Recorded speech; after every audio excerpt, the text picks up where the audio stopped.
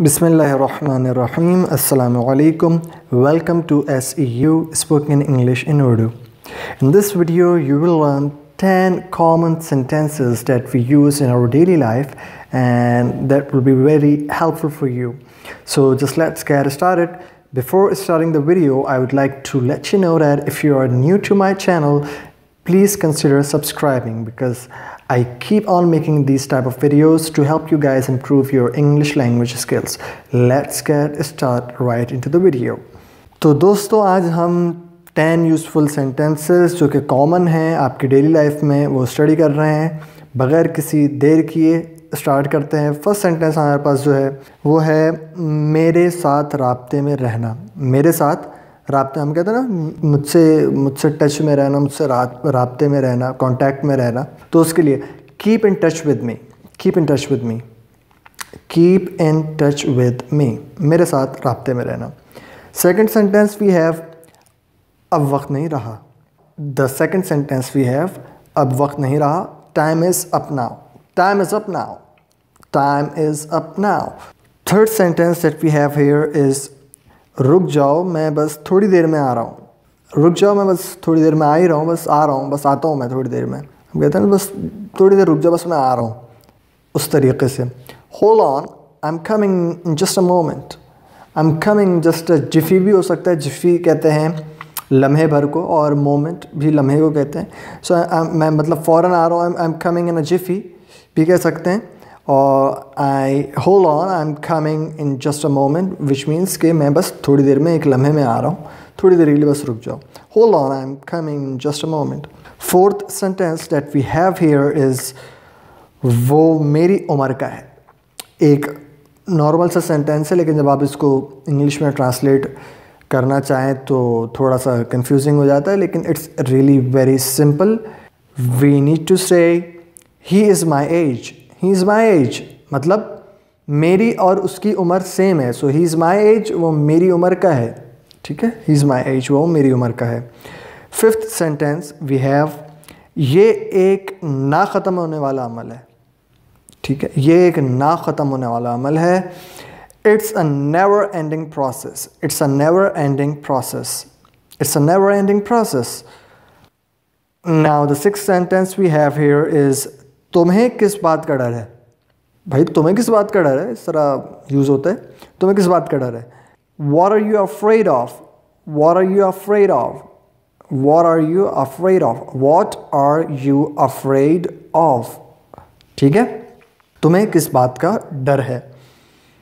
Seventh sentence we have here क्या तुम्हारे पास कुछ खाने के लिए है? क्या तुम्हारे पास कुछ खाने के लिए है? ये भी बहुत यूज़फुल सेंटेंस है।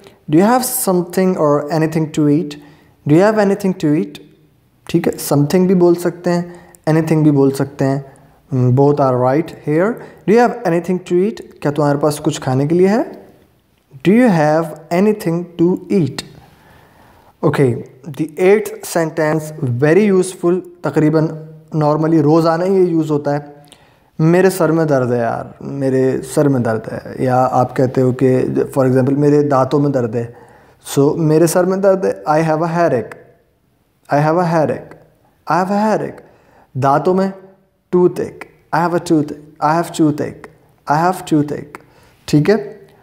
तो इस तरीके से जो भी आपको फॉर एग्ज़ाम्पल बीमारी है वो आप आगे लगा सकते हैं। आई हैव फीवर मुझे बुखार है।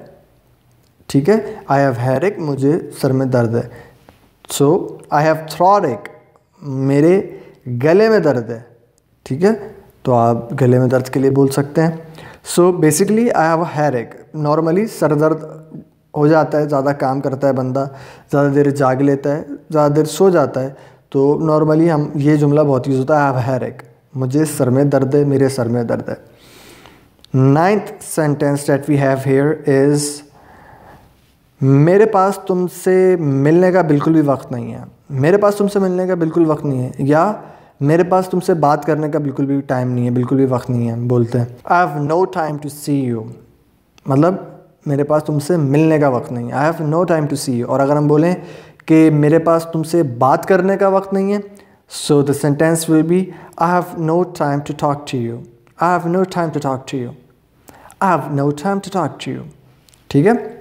Tenth sentence last but not least very important मुझे अब जाना है। आप कोई मीटिंग एंड कर रहे होते हैं, या किसी से जान छुड़ा रहे होते हैं तो आप कहते हैं, भाई यार, अब अब काम आ गया, अब तो मुझे जाना है, मुझे अब जाना है। I have got to go now I have some work I have some work to do I have got to go now I have some work to do I have got to go now ठीक है? So I have got to go now I have got to go now और fast speech में आप इस तरह normally बोला जाता है I've got to go now. I've got to go now. So these are the 10 common sentences that you can use in your daily life, in your daily routine. If you have liked them, please do like this video and share them. And before leaving you guys, the question of the day is, as you know that we end our videos with one question that we taught you in our last video. So the question is, let's say this sentence, मैं पाकिस्तान में पला बड़ा हूँ। मैं पाकिस्तान में पला बड़ा हूँ। ये मैंने अपनी लास्ट वीडियो के अंदर आप लोगों को बताया था तो जिस जिसने मेरी लास्ट वीडियो देखी है और उन सेंटेंसेस को याद किया है दे मस्ट लर्न दैम ठीक है, उनको ज़रूर याद होगा, उनको ज़रूर पता होगा। कि इसका क्या ट्रांसलेशन है, आपने कमेंट में लिखना है। मैं पाकिस्तान में पला बड़ा हूँ, को आप कैसे ट्रांसलेट करेंगे? So that's it for the day thank you for watching alaikum.